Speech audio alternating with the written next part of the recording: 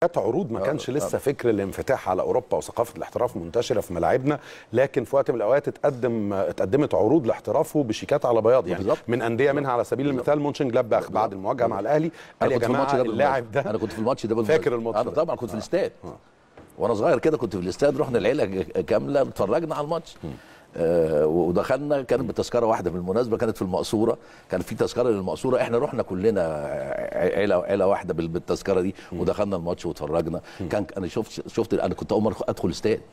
فكانت حاجة تخض. أول مباراة لك أول. مباراة ليا. أنا أنا أنا مشجع درجة ثالثه وياما اتطردت جامد جدا في الناشئين من الحكام بسبب فرقة 97 بتاعت النادي الأهلي.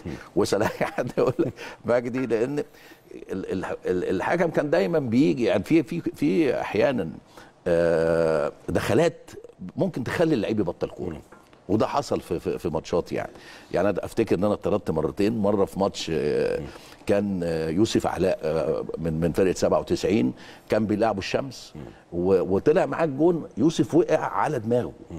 فكان لازم الحكم يوقف الماتش. الحكم ما وقفش. أنا دخلت بالمناسبة ال- ال- وده وده وده, وده أنا مش بقول الناس تدخل لك- لكن كان لازم يوقف الماتش. أنا خفت على الولد لأن الولد لما وقع ممكن ممكن يبلع لسانه.